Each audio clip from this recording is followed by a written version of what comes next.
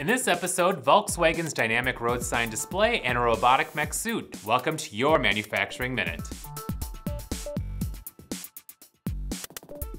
There's no doubt that our cars are becoming smarter through technology and they'll only become more intelligent as vehicle-to-vehicle -vehicle communication becomes more prevalent and the bugs are worked out of self-driving systems. Well, Volkswagen has unveiled another car technology called the Volkswagen Dynamic Road Sign Display that makes it easier to track how fast you should be going by flashing an image of the most recent sign in front of the driver. Using a forward-facing camera to recognize road signs, the system then displays what it sees on the center console instrument panel or head-up display.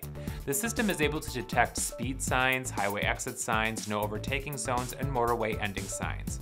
To ensure correct information, the system will cross-reference the information from the camera with navigation and vehicle data.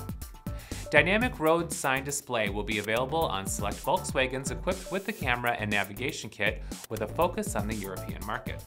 Do you think this technology could improve driving safety and navigation, or could this lead to a more distracted driver? Tell us what you think by leaving your comments below.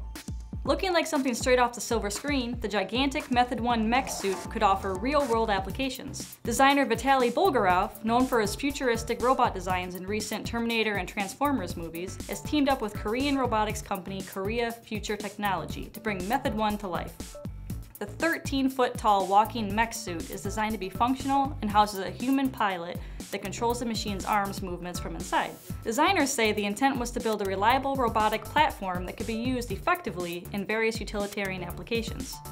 Currently, Method 1 is capable of walking forwards and backwards on flat surfaces. However, rotating ankle joints could allow a finished model to tackle variable terrain. The robot also has individual fingers that offer potential dexterity for more precise tasks. Method 1 also currently needs to be tethered to a power source. Vitaly says short-term uses could include industrial indoor applications where tethers aren't an issue. The machine's torso and arms could also be mounted on a wheeled platform along with a power source for applications outside such as cleanup work at the Fukushima disaster site. In addition to helping Ripley battle aliens, what other applications do you see this type of technology being used? Tell us what you think in the comments below.